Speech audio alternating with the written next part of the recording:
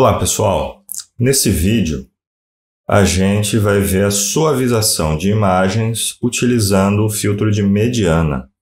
A gente já está aqui com o nosso Octave aberto, vamos navegar aqui até o nosso banco de imagens e vamos abrir o nosso script para processamento de imagens por mediana. A gente vai reproduzir o experimento que nós temos aqui na apostila. A gente vai usar, continuar usando a figura da borboleta para a gente ver qual é o efeito da mediana, do filtro de mediana sobre essa imagem. Lembrando que o filtro de mediana é um filtro não linear, que portanto não admite inversa. Vamos lá então.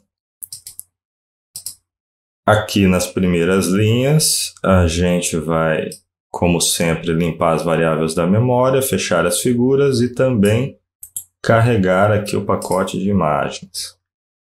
Em seguida, vamos ler aqui a figura da borboleta e vamos fazer a exibição.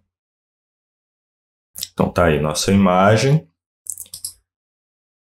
Aqui a gente está definindo o tamanho do filtro, né?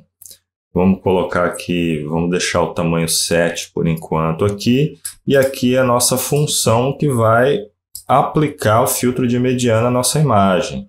Essa função é a medFilt2.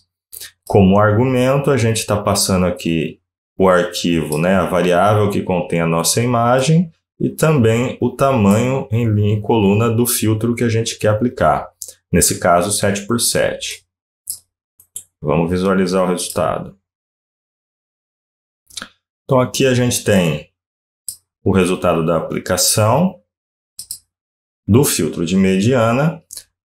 A gente percebe que esse filtro ele suaviza a imagem, mas a, o, o, a degradação das bordas ela é um pouco menor do que a, o que acontece com o filtro de média.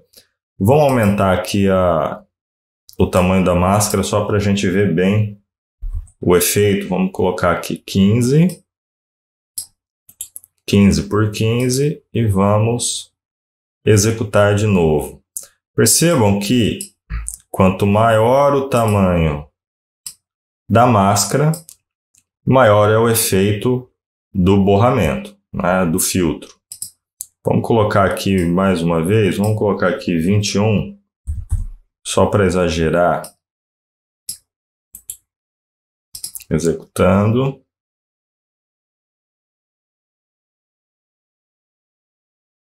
Olha lá. Então aqui a gente tem já um resultado bastante exagerado. Vamos fechar essas, essas imagens todas. Se a gente quiser fechar essas imagens todas, ó, que a gente tem aqui, a gente pode usar o comando, né? Close all. E a gente vai fechar todas essas imagens aí. A gente já não tem mais elas abertas. Vamos agora fazer o seguinte, vamos criar uma cópia dessa figura de novo, dessa vez com ruídos, né? O ruído do tipo sal e pimenta que a gente já viu no vídeo passado.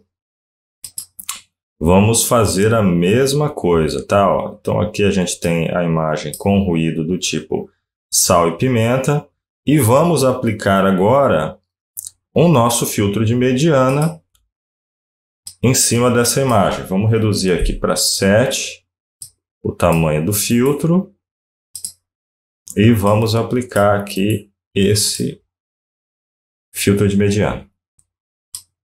Então, olha lá, percebam que a gente conseguiu, com um filtro de tamanho 7 por 7, a gente eliminou os ruídos do tipo sal e pimenta, sem degradar tanto as áreas de transição né, entre tonalidades, que são as bordas da imagem, tá bom?